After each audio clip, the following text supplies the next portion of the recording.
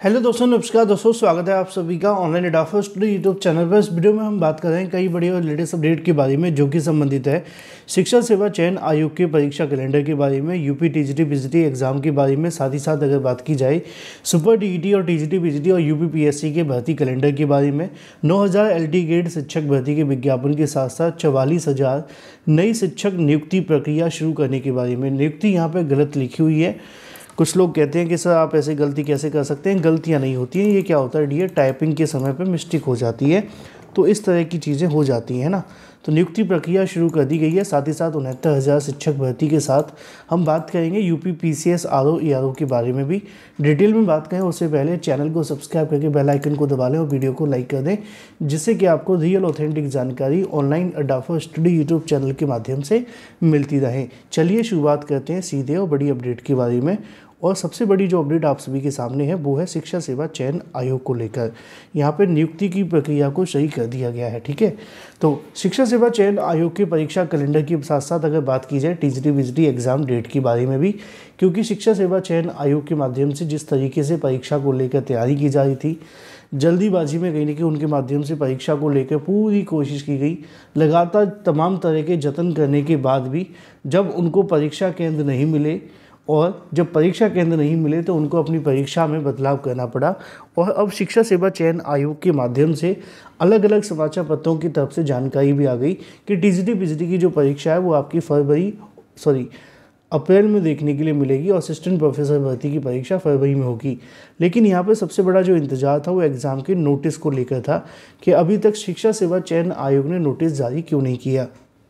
इसके बारे में शिक्षा सेवा चयन आयोग के माध्यम से अनाउंसमेंट कर दी गई है कि परीक्षा तिथियों की जल्द करेगी घोषणा। शिक्षा सेवा चयन आयोग लिखा हुआ है, नौ और दस फरवरी को असिस्टेंट प्रोफेसर और अप्रैल में टीजीटी पीजीटी परीक्षा कराने को लेकर उत्तर प्रदेश शिक्षा सेवा चयन आयोग ने साल 2022 में असिस्टेंट प्रोफेसर और टीजीटी पीजीटी भर्ती का विज्ञापन निकाला था। ऐसे में अगर बात की जाए भर्ती की परीक्षा कराने के लिए, परीक्षा अध्यादेश मानकों के अनुरूप जिला अधिकारी से परीक्षा केंद्रों की सूची मांगी। सभी जिला अधिकारियों को भेजे गए पत्र में असिस्टेंट प्रोफेसर भर्ती के लिए 9-10 फरवरी और टीजीटी पीजीटी के लिए चार से पाँच अप्रैल तथा 11 से 12 अप्रैल प्रस्तावित किए जाने को स्पष्ट है कि यहाँ पे शिक्षा सेवा चयन आयोग आपकी जो परीक्षा है वो इन्हीं तिथियों पर करवाएगा। अब ऐसे में परीक्षा कराने को लेकर तैयारी कर ली गई। प्रतियोगी छात्र लगातार मांग कर रहे हैं कि परीक्षा तिथि की जानकारी दो महीने पहले दे दी जाए।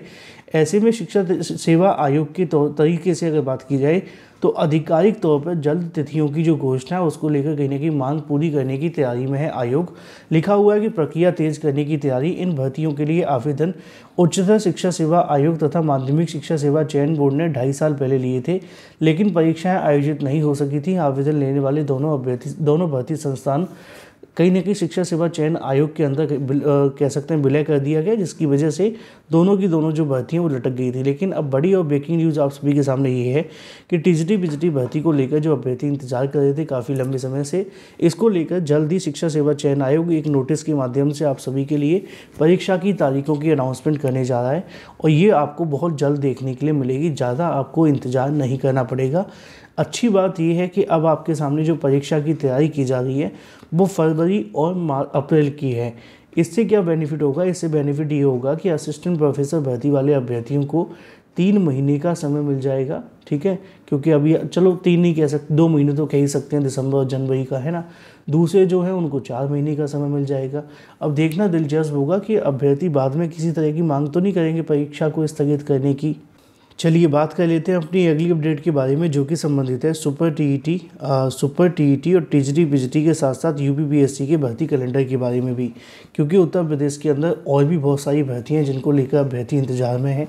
कुछ भर्तियाँ हैं सुपर टीईटी और टी जी जो कि नई भर्तियों की बात की जा रही है। इन भर्तियों के लिए कहीं ना कहीं जो शिक्षा सेवा चयन आयोग है, उसके माध्यम से होनी है। रही बात यूपीपीएससी की तो यूपीपीएससी की तरफ़ से भी एल ग्रेड के अंदर बड़ी संख्या में टीचर्स के पद खाली हैं। ये भर्तियाँ कहाँ से होनी? ये भर्ती आपको देखने के लिए मिली यूपीपीएससी के भर्ती कैलेंडर के अंदर। इसको लेकर भी जानकारी यहाँ पर लिखी हुई है। साल 2025 के कैलेंडर में नई भर्तियों के साथ लंबित परीक्षाओं को भी करना होगा शामिल। उत्तर प्रदेश लोक सेवा आयोग के माध्यम से अमूमन दिसंबर के अंत में या जनवरी के शुरुआत में वार्षिक परीक्षा कैलेंडर जारी कर दिया जाता है। लेकिन इस बार आयोग का काम चुनौतीपूर्ण होगा क्योंकि अगले साल 2025 परीक्षा कैलेंडर में आर ओ आर प्रारंभिक परीक्षा 2023 को भी शामिल करना पड़ेगा। लेकिन ये अभी तक तय नहीं है कि आयोग ये परीक्षा एक दिन या एक से अधिक दिनों में आयोजित करेगा। इस बार यूपी पीएससी की तरफ़ से परीक्षा कैलेंडर तैयार करना आसान नहीं होगा, क्योंकि आयोग सब 2025 में जहाँ तमाम नई परीक्षाएँ करानी है, वहीं कुछ लंबित परीक्षाओं के लिए कहीं ना कहीं आयोजन के लिए और भी तिथियों का इंतज़ाम करना पड़ेगा। आयोग को अगले दो साल में अगर बात की जाए, दो पी परीक्षाएँ करानी पड़ेंगी। अगले साल दो पीसीएस परीक्षा के साथ साथ अगर बात की जाए तो कुछ मुख्य परीक्षाएँ भी देखने के लिए मिलेंगी, इसके अलावा उनके इंटरव्यू कराने होंगे तो ऐसे में आसान काम नहीं होगा। लेकिन इसी के साथ अगर बात कर लीजिए उत्तर प्रदेश लोक सेवा आयोग के कुछ नए विज्ञापन के बारे में तो इसको लेकर भी यहाँ पे लिखा हुआ है कि वहीं अगले साल एल टी गेट शिक्षक भर्ती, जिसको आप एल टी गेट के नाम से जानते हैं, राजकीय इंटर कॉलेजों में प्रवक्ता भर्ती, राजकीय महाविद्यालयों में असिस्टेंट प्रोफेसर भर्ती, खंड शिक्षा अधिकारी भर्ती समेत कई नई भर्तियों के विज्ञापन आपको देखने के लिए मिलेंगे।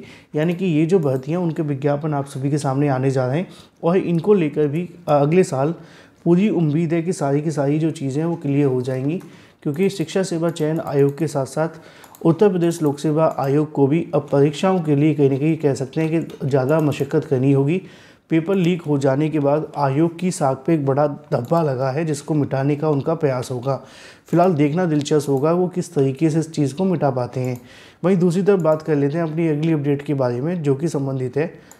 चवालीस हज़ार से ज़्यादा नियुक्तियों को लेकर चवालीस हज़ार से ज़्यादा जो नई नियुक्तियाँ हैं इसको लेकर जो प्रोसेस है वो शुरू कर दिया गया है जिसके बारे में जानकारी आज ही के अलग अलग समाचार पत्रों के माध्यम से दी गई है। सक्षमता परीक्षा के माध्यम से चवालीस हज़ार शिक्षकों की नियुक्ति जल्द देखने के लिए मिलेगी जिसके बारे में विभिन्न का, कारणों से पहले चयन में इनकी काउंसलिंग रह गई थी अधूरी नहीं अब पूरी नहीं हो पाई थी इसलिए अब इसको पूरी करने की तैयारी की जा रही है और ये तकरीबन आप सभी को देखने के लिए मिलेगी चवालीस हज़ार से ज़्यादा जो टीचर्स हैं उनकी नियुक्ति प्रक्रिया शुरू कर दी जा कर दी गई है। वहीं बात कर लीजिए उनहत्तर हज़ार शिक्षक भर्ती को लेकर तो उनहत्तर हज़ार शिक्षक भर्ती मामले पर जो आप सभी की सुनवाई है, उसकी तारीख मैंने आपको 10 दिसंबर बताई थी कल की तारीख में, लेकिन उसमें बदलाव करते हुए 17 दिसंबर कर दिया गया है। अब इस मामले को 17 दिसंबर को सुना जाएगा और उसके बाद जो चीज़ें वो देखने के लिए मिलेगी, लखनऊ हाईकोर्ट के माध्यम से दिए गए आदेश को सुप्रीम कोर्ट ऑफ़ इंडिया में कहीं ना कहीं जो चुनौती है वो दी गई है, और उसी को बार बार डेट के माध्यम से आगे बढ़ाया जा रहा है। अगली सुनवाई की तारीख सत्रह दिसंबर दो हज़ार चौबीस तय की गई है, ठीक है? तो जो भी अपडेट होगी वो आप सभी को दे दी जाएगी। फ़िलहाल की बड़ी और ब्रेकिंग न्यूज़ आप सभी के सामने है, जो आपको देखने के लिए मिलती है। उत्तर प्रदेश शिक्षा सेवा चयन आयोग के माध्यम से परीक्षा को लेकर ऑलमोस्ट सारी तैयारी कर ली गई है। जल्दी आपका जो नोटिस है वो जारी हो जाएगा।